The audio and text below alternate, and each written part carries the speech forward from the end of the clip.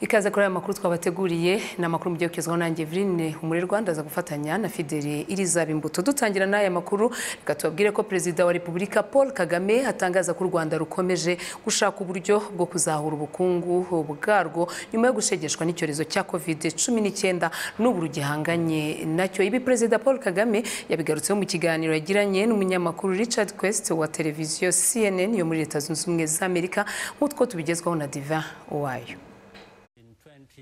mu kiganiro n'umunyamakuru Richard Quest wa televiziyo CNN yo muri Leta Zunze Ubumwe za Amerika Perezida Paul Kagame yavuze ko nubwo u Rwanda rwahungabanyijwe bikomeye n'icyorezo cya covid cumi n'icyenda ruticaye ubusa kuko hari ibisubizo rwatangiye gushaka. Twamaze kugerwaho n'ingaruka turabibona tuvuye muri guma mu rugo kandi ibikorwa by'ubucuruzi turabona ko bisubira inyuma. Urabibona iterambere ry'ubukungu twari tumenyereye mu gihugu ryasubiye inyuma. Muri bibiri na cumi n'icyenda ubukungu bwacu bwazamutse ku kigero cy'icyenda n'ibice bibiri ku ijana kandi twateganyaga ko buzazamuka kurushaho muri bibiri na makumyabiri tugakomerezaho no muri bibiri na makumyabiri n'umwe. Ariko ibyo byose byasubiye inyuma bigera muri zeru cyangwa kabiri ku ijana. Mu by'ukuri rero twatangiye guhura n'ingaruka zabyo turimo guhangana na byo tugerageza gukora ibishoboka hano no gufatanya n'amahanga. Hari ubushobozi bwatangiye kuboneka ngo tuzibe icyuho gihari ariko nubwo ari urugamba rutoroshye nta yandi mahitamo tugomba kubyitegura.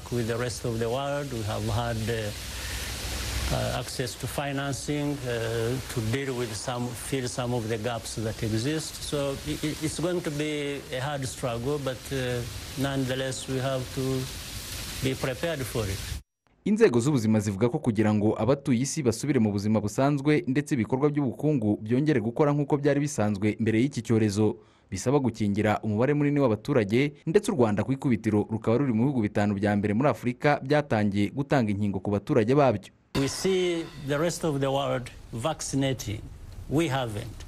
Turabona ibindi bice by'isi bikingira twe ntiturabikora. Ntitwabonye inkingo nyinshi. Ibyo bivuze ko tukiri inyuma kure ku murongo kandi uko mbibona bamwe mu bantu ntibari ku murongo na gato wo gushaka urwo rukingo. Turi ku murongo turategereje. Tuzafata inkingo izo ari zo zose zizaza kandi tubwirwa ko zikora yaba fayiza cyangwa moderna. Turashaka kubona zimwe muri zo vuba bishoboka.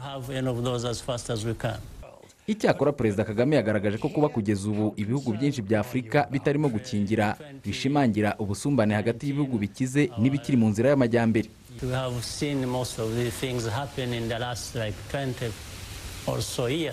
Tumaze iminsi tubona ibi bintu nko mu myaka hafi makumyabiri ishize.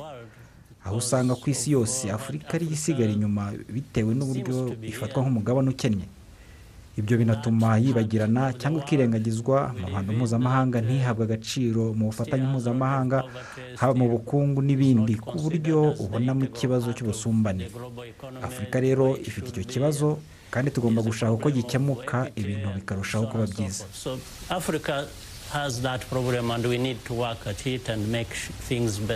Kugeza ubu ibihugu bike ku mugabane wa afurika ni byo byatangiye ibikorwa byo gukingira covid cumi n'icyenda.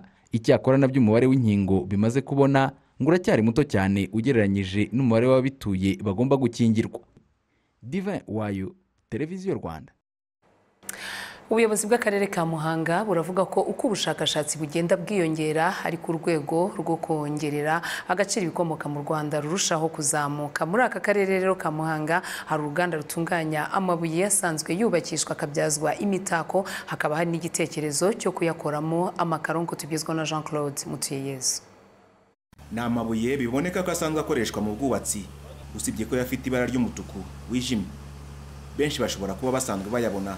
Ariko batazi ko yabyazwa undi musaruro nk'uko bamwe mu baturage babisobanura. Aya mabuye y'amayetiste rero ntabwo nyine abantu benshi bayazi ariko nk'umuntu nyine waba ufite nk'ikirombe cy'aya mabuye ntabwo yagakwiye kujya ayangiza cyangwa se nyine bayapfusha ubusa. Bagakwiye nyine kujya bagana nk'abashoramari nyine baba bayakeneye. Mu karere ka muhanga hamaze gutangizwa uruganda ruconga aya mabuye ku ngano yose rwifuza.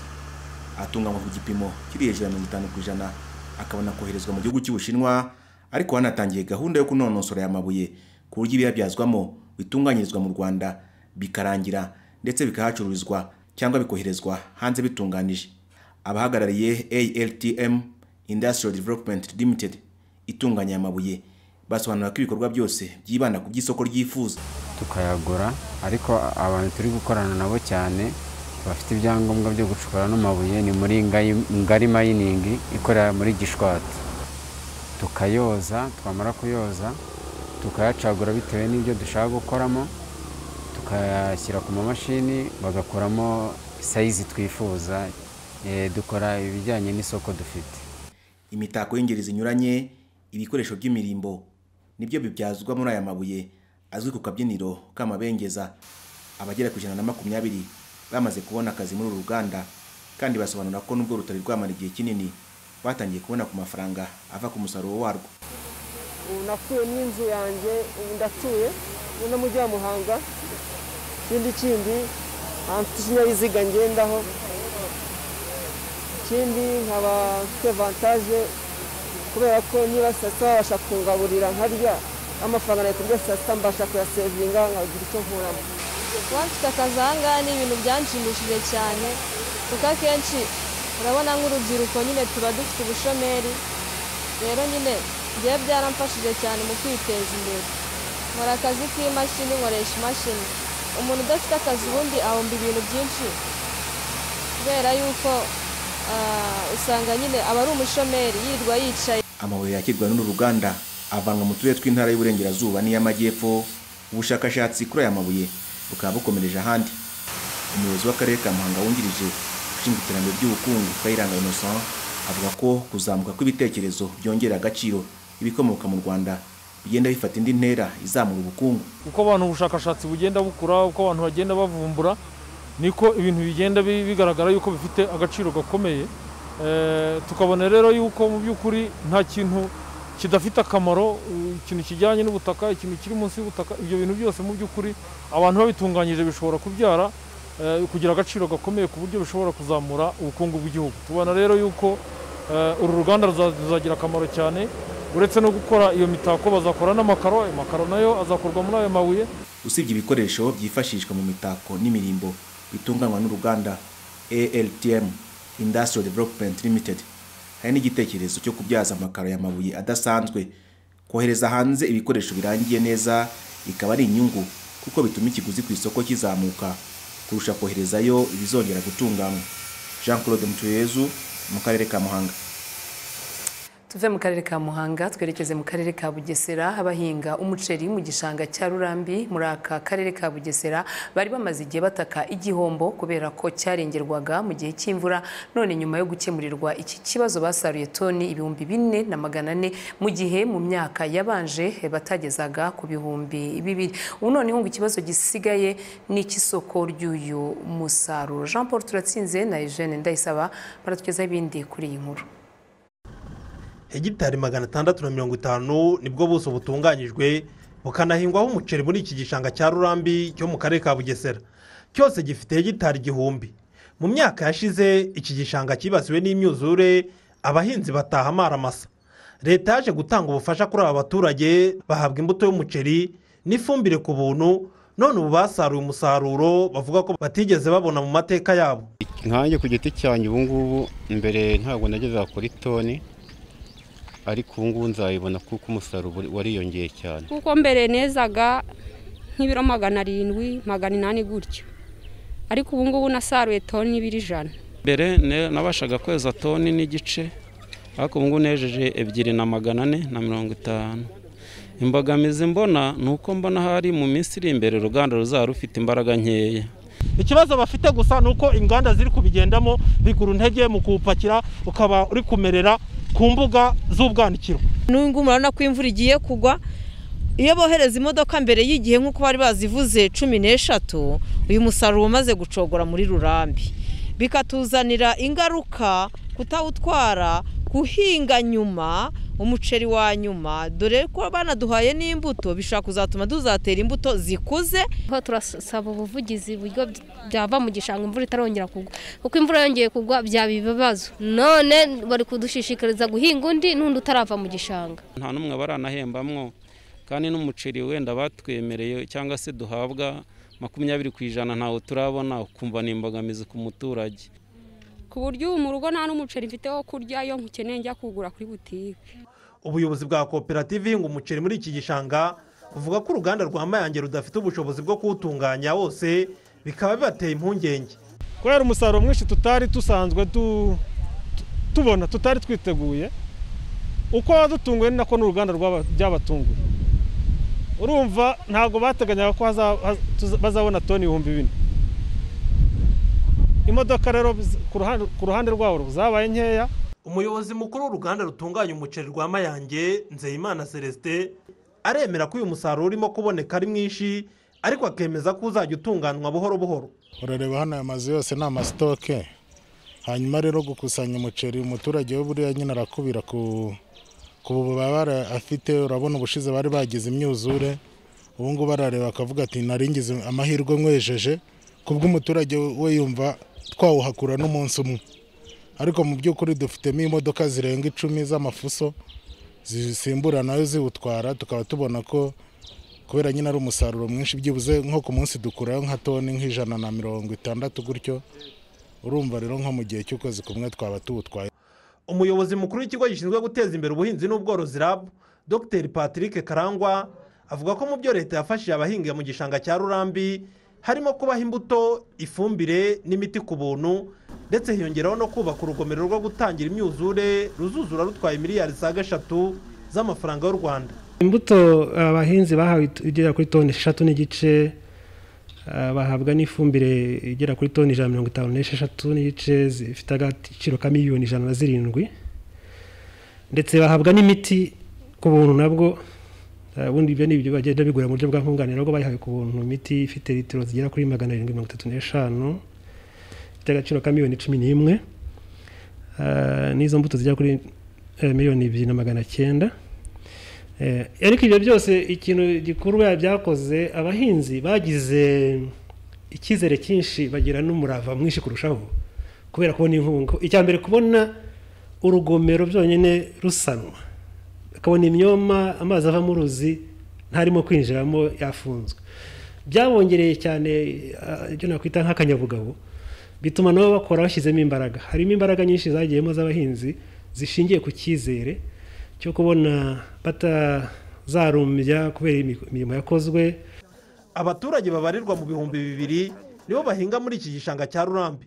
Nubwo hari umusaruro ukiri mu murima batangiye guhabwa imbuto n'ifumbire ngo babe bitegura igihembwe cy'ihinga cya bibiri na makumyabiri na rimwe b. Ku kibazo cy'umusaruro waheze mu bwanikiro rab ivuga ko irimo gukorana na minisiteri y'ubucuruzi n'inganda kugira ngo haboneke isoko ryawo ndetse n'inganda ziwutunganya utarangirika. Jean paul turatsinze televiziyo rwanda mu karere ka bugesera. Minisiteri y'uburezi yavuze ko hari ingamba zirimo gutegurwa zigamije guhangana n'ingaruka zishobora guterwa n'uko hari abanyeshuri bagiye kumara umwaka batiga. Uretse mu mujyi wa kigali rero ahandi mu gihugu abanyeshuri bakomeje amasomo. Hari na byo tugezwaho na kwizera john patrick yafatanyije na mbarushimana bienvenue ku rwunge rw'amashuri rwa nyagasambu mu karere ka rwamagana. Amasomo ararimbanyije. Abanyeshuri igihumbi magana cyenda mirongo icyenda na batandatu biga mu mashuri abanza mu gihe magana cyenda mirongo inani na batanu ari bo biga mu yisumbuye. Ku isaha saa moya n'iminota makumyabiri icyiciro cya mbere cy'abanyeshuri kiba cyinjiye ku ishuri. Saa sita n'iminota mirongo ine hakinjira ikindi cyiciro. Ingamba zo kwirinda icyorezo cya covid cumi n'icyenda zirubahirizwa dore ko hari n'ibikoresho bifasha mu kwirinda. Gusa ngo kurera abana bato bisaba mwarimu kudahuga. Wenda icyabanje kutugora ni ibijyanye kuza bagakaraba intoki kwambara face mask ariko uko iminsi igenda ishira bagenda babyumva. Ku buryo n'umwana iyo abonye utayambaye neza aratubwira ati dore wamanuye agapfukamunwa. Eh, kwigisha abana ba muri iki gihe twirinda kovide cumi n'icyenda ahanini usanga abana bo barabishaka kandi barabikunze cyane cyane kubabwira ibijyanye n'ubwirinzi barabigerageza rwose ku buryo bugaragara. Ahanini kandi usanga aba bana bo iyo ubabaye hafi barabikunda barabizi. Umuyobozi w'agateganyo w'uru rwunge rw'amashuri rwa nyagasambu adeline uwimbabazi avuga ko abanyeshuri bamaze kumva neza akamaro ko kwirinda icyorezo cya covid cumi n'icyenda. Ni nako kandi bitabwaho cyane mu myigire yabo. Hari abana mbere y'uko tujya muri guma mu rugo bigaga mu wa mbere hanyuma ejo bundi dutangiye haje n'abandi nabo baza gutangira. Byumvikane neza ko abo bana baje bwa kabiri basanze abandi hari amezi atatu bize. Twafashe ba bana bize amezi atatu ya mbere tubashyira mu mashuri yabo noneho n'abana bashyashya baje gutangira tubashyira mu yandi mashuri yabo kugira ngo bamenyere bagere kuri ritime y'abana bari bamaze amezi atatu biga nta mbogamizi zirimo bose bari ku rwego rumwe kugeza uyu munsi. Mu mujyi wa kigali ho amashuri aracyafunzwe. Yaba aya leta n'ayigenga ndetse na kaminuza. Abana baba bari muri gahunda zitandukanye. Hari abafasha ababyeyi imirimo abigira mu rugo ariko hari n'abirirwa mu mihanda badafite gahunda. Hari ababyeyi bavuga ko bafite impungenge zo kuba birirwana n'abana babo. Kuba nyine abana bamaze umwaka batiga ni ikibazo kuko abana birirwa mu muhanda nta kintu bakora. Usanga umwana yagiye kuroba umwana birirwa barwana. Ntiwamubwira uti jya kuvoma ntiwamubwira iki? Kubera iki? Niba yarabyukaga ajya ku ishuri natwe byaratworoheraga. Ugasanga niba agiye ku ishuri tuhahuriye saa sita ugateka umwana akarya. Mbese ugasanga ibintu bimeze neza ariko ubu dufite ibibazo. Nk'uko ubwira umwana uti fata ikayi usomere mu rugo. Ntabwo ibyo bintu abyumva umunyamabanga wa leta ushinzwe amashuri y'incuke abanza n'ayisumbuye twagira yezu gaspar avuga ko muri rusange mu ntara amashuri arimo kugerageza kubahiriza ingamba zo kwirinda icyorezo cya covid cumi n'icyenda avuga kandi ko minisiteri y'uburezi hari ingamba ifite zigendanye no kuba hari abana bagiye kumara umwaka batajya ku ishuri. Mu minsi iri imbere mu gihe amashuri n'abo muri kigali bazaba bashoboye gusubira ku ishuri twashyizeho kalendari tuzabamenyesha izaba ifite igihe cyegeye imbere kugira ngo na bano bana bashobore kugira umwanya uhagije wo kugira ngo babe bakwiga. Kubera ko bano bana batoya bisaba ko dushyira imbaraga cyane muri foundation skills cyangwa se ubumenyi bw'ibanze harimo gusoma kwandika kubara n'ibindi. Icyo ni icya mbere. Ikindi cya kabiri ni uko twashyizeho amabwiriza ajyanye n'ibyo twita remedial education cyangwa se uburyo bwo gufasha bwihariye abana tuzagenda dusanga bafite ibibazo byihariye. Mu mashuri yatangiye hari abo twatangiye kugenda tubibona aho usanga ko hari abana kubera igihe kinini gishize batari ku ishuri usanga hari ibibazo bimwe na bimwe byo kwiga byagiye bivuka. So tukaba rero twarashyizeho ubwo buryo kugira ngo dufatanyije n'abarimu tuzajya tugenda tumenya abo bana ariko nanone tugire uburyo tubitaho by'umwihariko. Icyo rero nabwira ababyeyi ni uko cyane cyane nk'abo muri kigali ni ugukomeza kwihanganisha abana gukomeza no kubasobanurira impamvu batari ku ishuri ko ari impamvu y'iki cyorezo nyine covid cumi n'icyenda. Mu mujyi wa kigali abana bo mu mashuri y'incuke abanza kuva mu mwaka wa mbere kugeza mu wa gatatu bagiye kumara umwaka batiga bitewe n'icyorezo cya covid cumi n'icyenda. Kwizera john patrick televiziyo rwanda i kigali. Mu gihe bamwe mu batuye mu turere tw'amajyaruguru hashyira uburengerazuba binubira igenda rya hato na hato ry'amashanyarazi rihungabanya imirimo yabo ya buri munsi bikabateza igihombo. Ubuyobozi bwa sosiyete ishinzwe ingufu reg burabizeza ko igisubizo kirambye kizatangwa n'iyubakwa ry'ikusanyirizo ry'amashanyarazi rya nyabihu substation rizuzura bitarenze mata uyu mwaka bibiri na makumyabiri na rimwe. N'inkuru tugezwaho n'uwimana emmanuel. Mu turere twa musanze na nyabihu abakoresha amashanyarazi mu buzima bwabo bwa buri munsi cyane abafite ubushabitsi bukenera by'umwihariko amashanyarazi barinubira igenda n'igaruka rya buri kanya ry'amashanyarazi bavuga ko ryica akazi kabo ntikagende uko babyifuza. Hari ikibazo cy'umuriro uri kugenda hato na hato bikaba biduteje ikibazo gikomeye n'ibihombo muri rusange. Kuko urabona hano turi abasuderi hari imashini zisya imyaka ibintu nk'ibyo bitandukanye. Acomeka nka televiziyo kubera guhora uragenda buri minota nk'itanu kubona uragiye televiziyo bigatuma ekara isha. Kuri ubu ngubu uri kugenda gubura buri kanya nta minota nka hafi nka mirongo itatu iri gushyira umuriro gutabuze nk'umukiriya ubonye uko byari bigenze mu kanya barimo kumwogosha. Ubonye ko umuriro uhise ugenda. Usanga rero buri kanya urimo kugenda ubundi ntabwo ari ni ikibazo kimaze iminsi. Aba baturage basaba ko iki kibazo cyavugutirwa umuti urambye bityo nabo bibashobokere kubyaza umusaruro amashanyarazi iterambere ryihute. Mwadukorera ubuvugizi bakareba buryo ki bakemura iki kibazo cy'umuriro kuko biri kuduteza igihombo gikomeye. Twifuza ko ba- babwira rege ikamanuka ikahagera ikareba ibibazo bafite ikabikemura. Ubuyobozi bw'ikigo cy'igihugu gishinzwe ingufu reg ishami ry'amajyaruguru buvuga ko buticaye ubusa ikibazo kizwi kandi ko kiri gushakirwa igisubizo. Ngo harimo kongerwa ubushobozi bw'ibikorwa remezo aho umuriro ukusanyirizwa haje kunganira ibereshi muri musanze ubushobozi bwari bwarabaye buke. Wa muriro wagenda guturutse hano i musanze ugakomeza nyabihu rubavu mu ngororero ukaba wagera no mu gace ka muhanga ndetse no mu gace ka gakenke iriya substation iraza kubihindura. Iraza kubihindura mu gihe wasaga wa muyoboro ufite uburebure bw'ibirometero bigera muri magana atandatu. Ikibazo cyose cyabaga muri bya birometero magana atandatu. Cyazaga kigakuraho abafatabuguzi bose bafatiye muri utwo turere. Ariko nitumara kuza iriya substation ya nyabihu nk'uko mwabibonye ubu tuvugana igeze nko kuri mirongo inani na gatanu ku ijana biraza gutuma ba baturage tugenda du- dukata wa muyoboro tuwukatemo ibice. Ni kiriya substation iraza kudufasha kugira ngo buri gace kagire umuyoboro wako mugufi wubahirije ibisabwa noneho n'ikibazo cyabamo kibe mu gace gato kandi gihite gikemuka mu buryo bworoshye bitameze nk'uko byari bisanzwe. Mu by'ukuri eh, ikibazo cyabo turakizi kiranaduhangayikishije cyane ariko kandi icyiza gihari ni uko gifite igisubizo kandi kirambye. Ikusanyirizo ry'umuriro w'amashanyarazi rya nyabihu nyabihu substation ryatangiye kubakwa. Muri gashyantare bibiri na makumyabiri bikaba biteganijwe ko rizarangira muri mata uyu mwaka wa bibiri na makumyabiri n'umwe rigahita ritangirana ubushobozi bungana na megawati mirongo ine. Ibikorwa byo kubaka iri kusanyirizo ry'amashanyarazi bizatwara akabakaba miliyari eshanu z'amafaranga y'u rwanda bikaba birimo gukorwa na kompanyi y'abashinwa yitwa ccc engineering limited. Uwimana emmanuel televiziyo y'u rwanda mu karere ka nyabihu. Kuri uyu wa kane polisi y'u Rwanda yerekanye abantu barindwi bakekwaho kwiba ndetse no kugurisha televiziyo zo mu bwoko bwa flat screen mu mujyi wa Kigali. N'abagabo rero barimo abitwikiraga ijoro bakifashisha ibikoresho bica inzugi ndetse n'amadirishya bakajya kwiba mu ngo z'abantu harimo kandi n'abagiye n'abazigemurirwaga kugira ngo bazigurishe.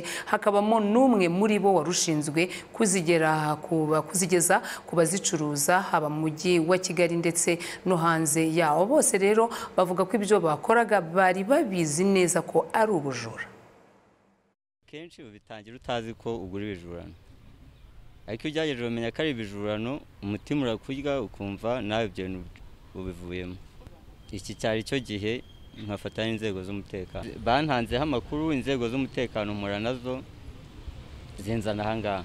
Eh, naragenda- naragendaga ntumwe n'umugabo wita Idirisa yampaye akazi agomba kunyishyura none akabimpereza nkabitwara. Ubwa kabiri arambwira ati hari ahantu nze gafurate twajya kukazana.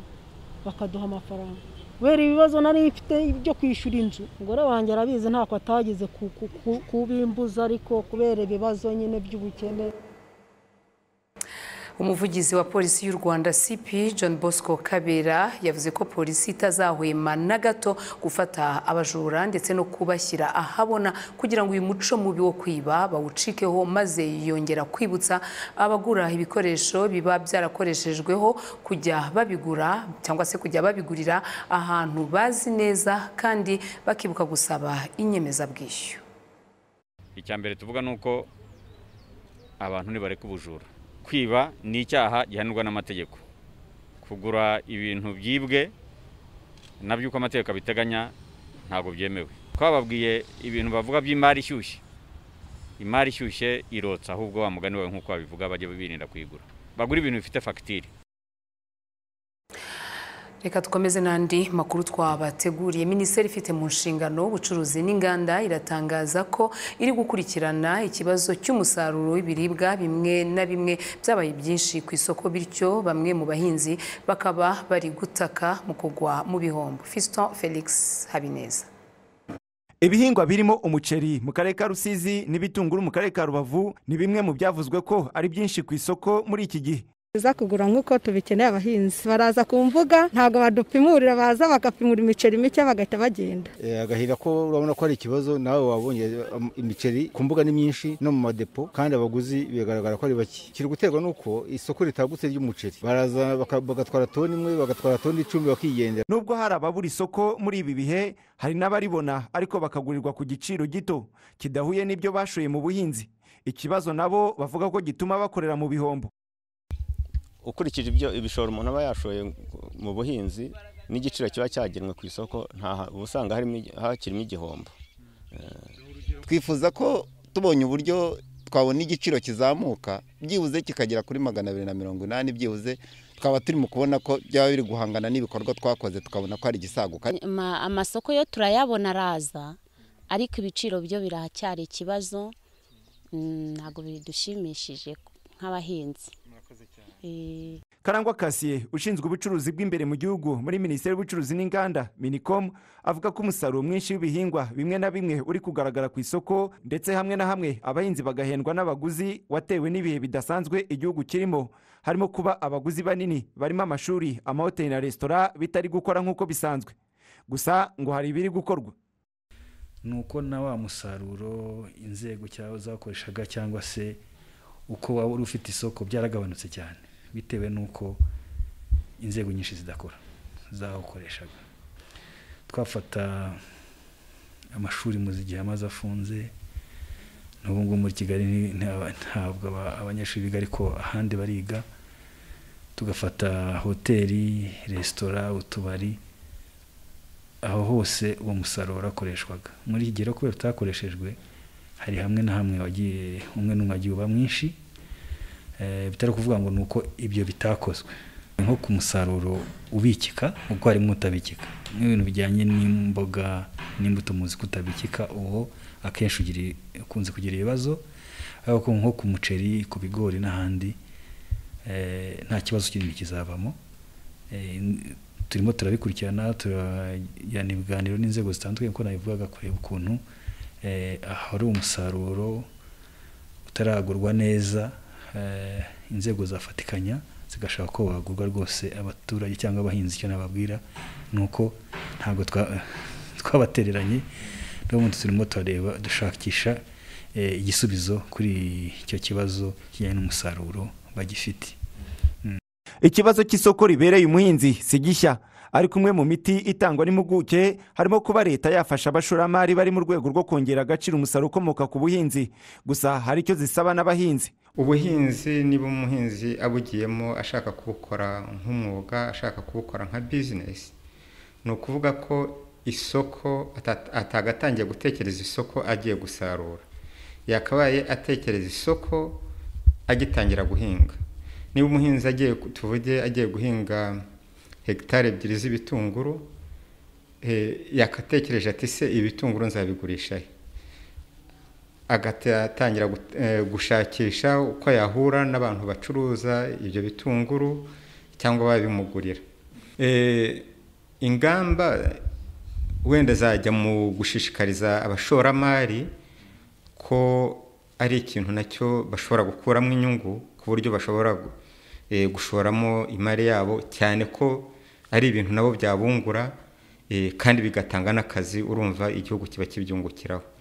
Eh, wenda ba bandi bemeye gushoramo amafaranga kuko na byo bifasha igihugu ukuntu gutera imbere mu- muri ibyo by'ubuhinzi leta ishobora no kureba uburyo nabo eh, yabakorera nka nkunganire ku misoro wenda bakaba ba- bayigabanyaho ariko biba biterwa na- none wa mushinga wa mushoramari azanye. Ese koko uzagira ikintu wungura mu guteza wa musaruro niba ari umusaruro w'amata ese eh, rwa ruganda ruciriritse cyangwa uruganda agiye gushoramo amafaranga koko hari umusaruro bizatanga kugira ngo na leta na yo ibone koko niba ubwo bufasha uwo nguwo azabubona leta yashyize imbaraga mu kuzamura ubuhinzi cyane cyane ishishikariza abahinzi guhinga bagamije isoko kandi bongerera agaciro umusaruro wabo.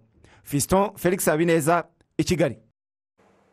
Mu karere ka nyabihu imyaka isaga itanu irashize imiryango irenga mirongo itandatu imeneshejwe n'amazi ava mu misozi agasandara hose kubwo kubura inzira maze inzu zikarengerwa. Imiryango rero ihamya ko ikibazo kizwi n'ubuyobozi ariko ngo ntacyo bwabafashije. Ibijyanye n'ikibazo reka tubibaze robert byiringiro yafatanyije na joseph ndikumana.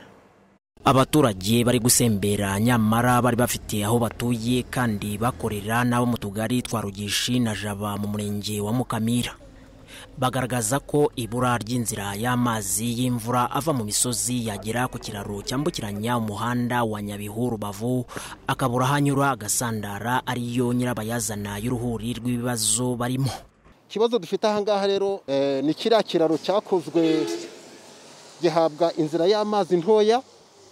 Amazi yahagera amanukanye n'amasuri bigafunga. Iyo nzira amazi akagaruka mu baturage.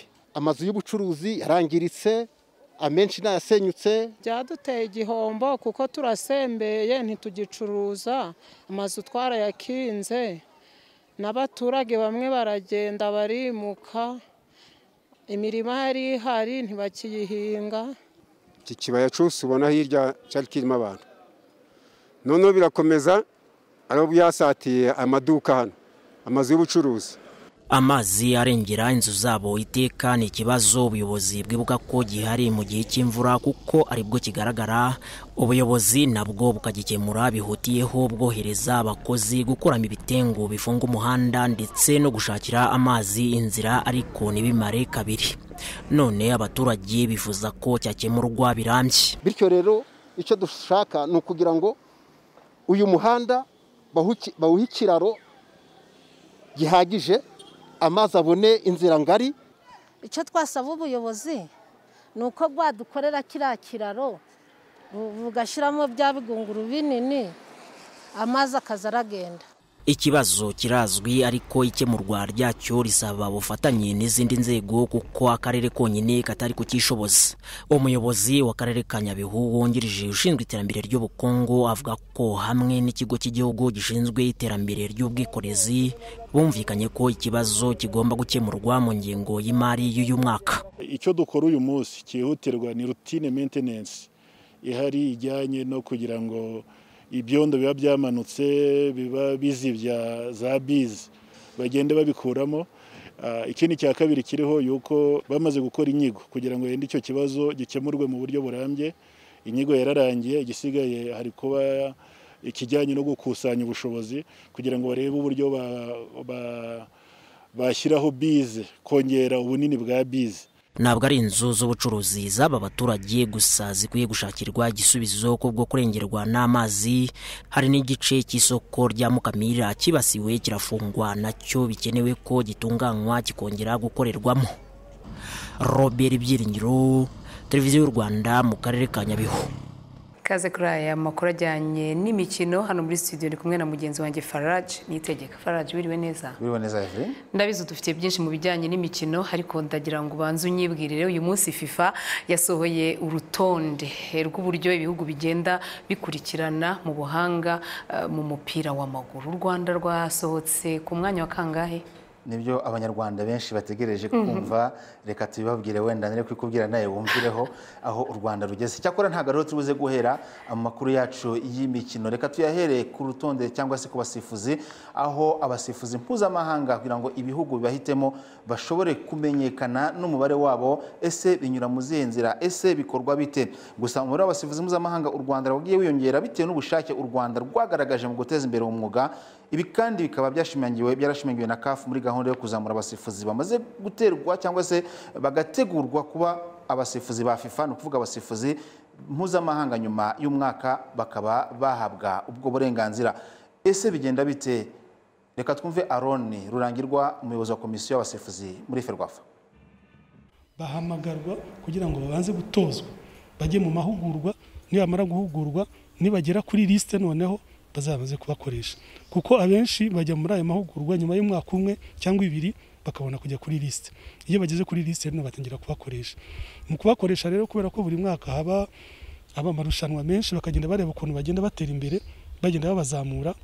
Haba hariho bita za elite a elite b gutyo bigaragaza ko bigaragara ko baba bahisemo mu basifuzi bose bari muri afurika iyo babahisemo rero bakabakoresha amahugurwa bakabona barabitsinda neza icyo gihe barabazamura bahereye kuri izi za anda 17 anda 20 can na kan mbere ya jenoside u rwanda ntabwo rwari rugeze ku basifuzi nibura bageze kuri batanu mu basifuzi mpuzamahanga ariko habaye ubushake. Ndetse ari nabibwira ko umuntu ashobora kuba yahamagara umuntu akamusifuza akamugira umusifuzi mpuzamahanga biturutse ku bushake bwe cyangwa se kuba amwiyumvamo. Ntabwo ari gutyo bikorwa. U rwanda kuri ubu ngubu rumaze kugira abasifuzi bagera kuri cumi na batatu. Ndavuga abo ku ruhande nabo hagati bose ubavanze. Ni abasifuzi rero bagiye bagirwamo cyangwa se biterwa n'ayo mahugurwa. Ese bigenda bite? Reka twumve nanone aroni mu magambo make. Duhitamo abasifuzi bitwara neza ku rwego rwa rw'icyiciro cya mbere. Ni ukuvuga ko noneho tukareba mu bo dufite icya mbere bataragera kuri lisite ya fifa icya kabiri bitwara neza kurusha abandi kandi bafite n'amahirwe yo kuzakomeza bagatera imbere. Ibyo na byo rero na byo nanone habaho za kiriteri tugenda tureberaho cyane cyane iz'imyaka kugira ngo umuntu atangire ari mutoya afite makumyabiri n'itanu n'itandatu aho ngaho noneho azagira imyaka myinshi yo gukora iri imbere ye.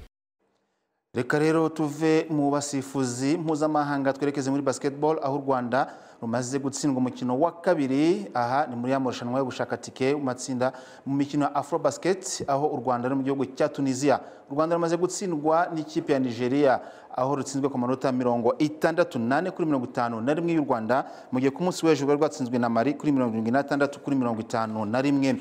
Reka twerekeze ku rutonde ngaruka kwezi rwa fifa ni urutonde ishyirahamwe ry'umupira w'amaguru ku isi rushyira ahagaragara uko ibihugu bikurikirana mu mupira w'amaguru ndetse nababwira ko igihugu cy'ububirigi cyaje ku mwanya wa mbere ntabwo uyu mwaka bwigeze rukorwa ni bwo bwa mbere bibiri na makumyabiri na rimwe fifa isohoye uru rutonde. Gusa reka tugaruke ku wacu mu rwanda aho rwaje ku mwanya w'ijana na mirongo itatu na gatatu. Icyakora ikipe ya afurika yaje imbere cyangwa se igihugu cya afurika cyaje imbere ni senegal ku mwanya wa makumyabiri mu gihe uganda mu karere ariyo yaje imbere ikaba iri ku mwanya wa mirongo itatu na gatatu.